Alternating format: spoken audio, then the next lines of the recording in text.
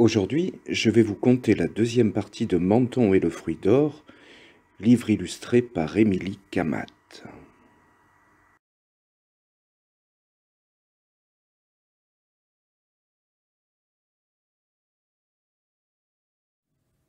Du monde entier, les producteurs de citron virent en cet événement apocalyptique un signe divin. Tous vinrent à Menton par la mer, par les routes, par les airs d'Argentine, du Mexique, des États-Unis, d'Espagne, d'Italie, de Grèce, de Perse, ou bien encore d'Asie, ils prirent soin d'apporter de somptueux cadeaux, tentant ainsi de rompre le sort qui les avait plongés dans l'obscurité. Tels des Incas ou d'anciens Égyptiens, fascinés par le dieu soleil, ils vouaient désormais un véritable culte à ce citron déjà légendaire. Et ils en étaient désormais certains. Afin que le maléfice soit rompu, la fête du citron se devait d'être célébrée dans quelques semaines avec un faste des plus grandioses, un apparat inégalé. Chars majestueux, jardins opulents et luxuriants, dont les couleurs jaunes et orangées seraient honorées sous un ciel bleu azur, tels des feux d'artifice dans le cœur de l'hiver. Les jardiniers de la ville aidés par toutes les bonnes volontés, débordèrent d'imagination.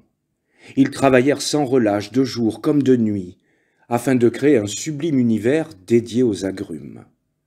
Ainsi, en février, après des semaines de dur labeur, la cité fut enfin prête. Lors de l'inauguration, le public attendait fébrilement de voir l'extraordinaire fruit d'or. Les artères de la ville étaient gorgées de monde depuis les plages de galets jusqu'aux vallées étroites qui gagnaient les montagnes. Au cœur de la cité, un trône, orné de pierres précieuses, devait même servir d'écrin au majestueux citron à l'écorce d'or. Mais aux grandes dames de cette foule immense et anxieuse, celui-ci restait désespérément vide.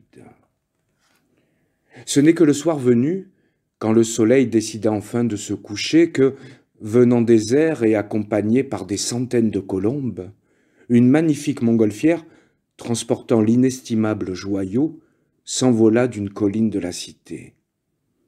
Après un court mais extraordinaire voyage, par-dessus les toits de la vieille ville, du bastion et du musée Cocteau, elle se posa délicatement dans les jardins Biovès. Sur un coussin de velours, telles les clés d'un royaume, il apparut enfin, porté religieusement par des enfants venus des cinq continents. Menton, perle de la France, disait Élisée reclus, et Citron, ambassadeur du soleil et de l'amitié entre les peuples, souffla un espiègle vent marin, chassant aussitôt le mauvais sort et les nuages du globe. Et c'est ainsi que durant des semaines, de jours comme de nuits, arrivés en liesse du monde entier, des gens purent admirer, vénérer et remercier de mille présences ce lieu, digne du jardin des Hespérides, ce merveilleux citron à l'écorce d'or et à la taille insolente de beauté, dont la luminosité semblait éclairer le ciel. Beaucoup voulurent même le toucher, et d'aucuns aiment à dire que, dans les allées du marché et les vieilles ruelles, les mentonnais en ont depuis ce temps un immense sentiment de fierté. Rien d'étonnant à cela, me direz-vous, sur les rivages de la Méditerranée. Tant les couchers de soleil rougeoyants, le ciel et la mer azurée accompagnent depuis des temps illustres oranges et fruits d'or au soleil mêlé.